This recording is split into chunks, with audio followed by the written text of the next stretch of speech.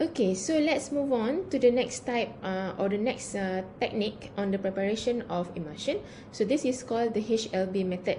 So in the HLB method, uh,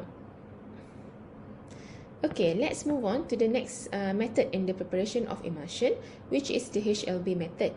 HLB or hydrophile lipophile balance is a method that uh, use um, uh, specific uh, emulsifying agent or um, uh, non let's move on to let's move on to the next uh, method in the preparation of an emulsion which is called the HLB method. HLB means hydrophile lipophile balance. So this method is useful to calculate the quantity of uh, non-ionic surfactants uh, needed in a formulation so each surfactant is uh, given a, a value on the HLB scale. So this HLB scale uh, range between 3 to 18 uh, with the low value, okay, the low value uh, refers to surfactants with lipophilic property, uh, which means uh, the surfactant that likes um, fats or oil. Uh, and this, if we use these uh, surfactants alone, it will produce water in oil emulsion. And the high value which is the surfactant with hydrophilic property, uh, this will produce oil and water emulsion only. But uh, uh, usually in this method, we will have to mix between the two, uh, the two um, extreme, uh, which is uh, between the low value surfactant and the high value surfactant. Okay, so this table will give uh, will give us the value, okay, the HLB value for some ingredients. So the first table here uh, give the value for emulsifying agent. So you see here, these are the examples of uh, non-ionic surfactants. Okay, as an example, span 80 has a HLB value of 4.3, and let's say Tween 80 has a HLB value of 15. Okay, so you see the higher range um, uh, value will refer to a surfactant that is more water loving while the one that uh, with a lower um, value uh, uh, refers to emulsifying agent that is oil loving. So um, as you see here the spun range are usually more oil loving and the Tween range are usually for water loving so this second table here gives us the value of HLB for certain wax, fats and oils. So don't uh, don't worry, I wouldn't expect you to remember all these values. If they are needed in the exams, I will give you the value for your calculation. Okay. Uh, so when you, we want to prepare an emulsion to the HLB method, we have to determine the two values which are called as offered HLB values and the required HLB values. So each surfactant is given a HLB value, right? So the so this surfactant offer a certain value of HLB.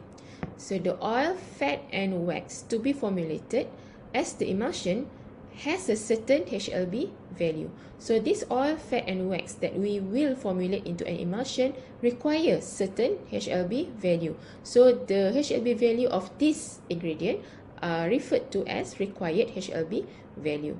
So to ensure a good emulsion is produced, the HLB value for oil, fat and wax, which are the required HLB value, has to be determined and this value has to be matched with surfactant which can offer similar HLB value. So the required HLB value has to be matched with the offered HLB value.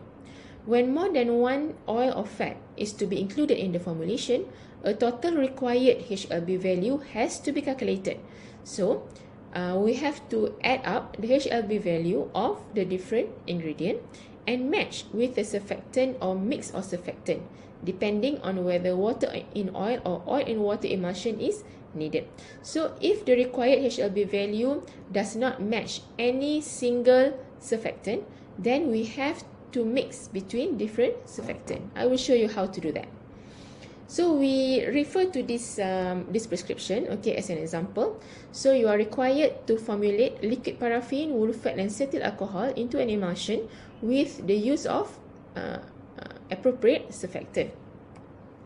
So first of all, we have to determine the required HLB value. So you have to make sure that all ingredients are in the gram uh, units. Okay, that is the first step. If the oil is in ml, you have to convert into gram by using the density. So if the density value is not available in BPC, I will give you in the exam. But rest assured, this density value is easily uh, obtained. Okay, in the real life, okay, you can uh, easily find them. Okay, so the total percentage of oil, fat and wax, okay, if we refer back to the prescription, is 35 plus 1 plus 1. Okay, so it will be 37 gram. So the proportion of each uh, oil, fat and wax ingredients are liquid paraffin is the highest uh, portion so it uh, go up to 94.6% wool fat 2.7% and cetyl alcohol another 2.7% so to calculate the total required HLB value you have to times this percent with the HLB value of each ingredient. So as the liquid paraffin has a HLB value of 12 you have to times 94.6 times 12 it will equal to 11.4 wool fat 0.3 and cetyl alcohol 0.4 so you add up all this so it will be 12.1 so 12.1 is the total required HLB value. Okay this is the total required HLB value. So you have to refer back to the table. Okay here. Can you find one surfactant that offer 12.1 HLB value okay there's one 12 okay but that's not uh, exactly the same. So we will have to mix between uh, two different surfactant. So in this case the surfactant that is available to you are the uh, from the span range and the Tween range. So what should you do? You have to choose one span and one Tween that is um, higher or lower than the required HLB value. So as the required HLB value is 12.1 you would uh, let uh, in this case I would take a uh, span 80 that has HLB value of 4.3 and also Tween 80 15.1 okay? You can't take Tween 81 it's 10 okay? It's lower than the required HLB value. You can only take Tween 80 or Tween 60 and Tween 40 okay you can take this. Tween 21 and Tween 20 is also allowed but not Tween uh, Tween 81 or Tween 85 okay this is too low. Uh, this is uh, lower than the required HLB value. So for the span you can take uh, any one uh, if I remember well yes you can take any one as uh, yeah.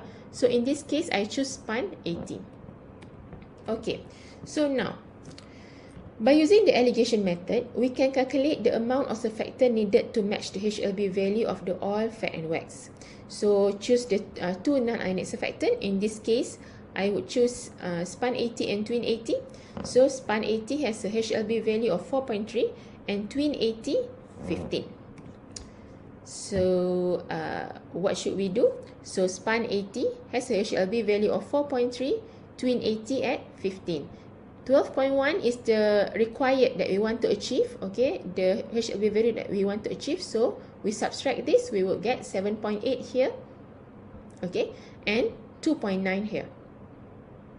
Okay, so 12.1 minus uh, 15, okay, you have 2.9. 12.1 minus 4.3, you have 7.8. So you total up, okay? The the uh, the mix between span 80 and and Tween 80 and then uh, as based on the prescription the quantity of surfactant that will be used in the prescription is 7 gram. So you have to calculate the amount of uh, span and Tween that will eventually total up to 7 gram.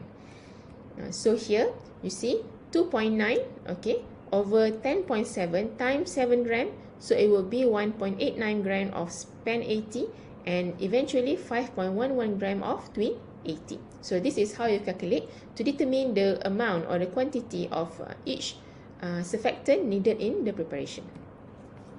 Preservatives. So there are two types of, of preservative. First is against microorganism and the second is against atmospheric oxygen. Uh, so there are several um, uh, preservative against microbes that can be used. As an example, benzoic acid, okay, uh, chloroform, chloroform water, okay, chlorocresol and cetrimide. It depends on the type of the product that we are formulating.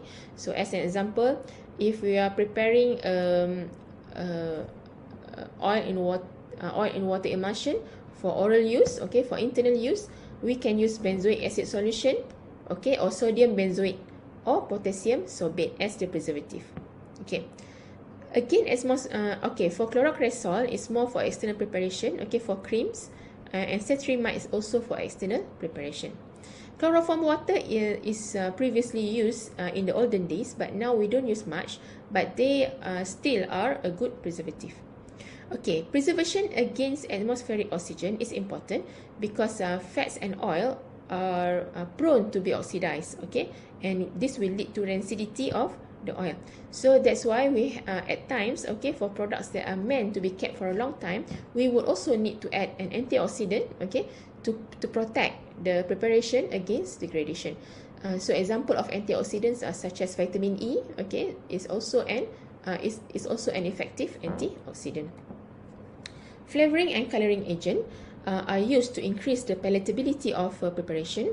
So sometimes it is used for oral emulsion. So as an example, uh, vanilla or vanillin is used to flavor paraffin emulsion. Okay, so this will uh, help to mask the the bad taste of the preparation. So the choice of flavoring and coloring uh, will be explained later on uh, in the lecture by Dr. Atika. So uh, uh, Dr. Atika will cover more on the on how to choose uh, the flavoring agent based on the ingredient. So color is rarely needed in emulsion, but it's not wrong to be added.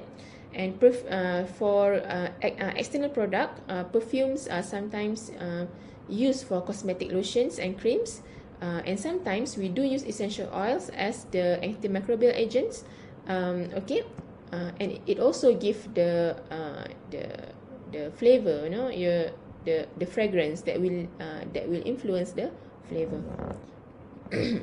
so as a pharmacist, it is important for us to ensure that the emulsion is stable during its shelf life and the expiry for extemporaneous preparation would be 4 weeks if uh, there's, there is preservative and 2 weeks without preservative.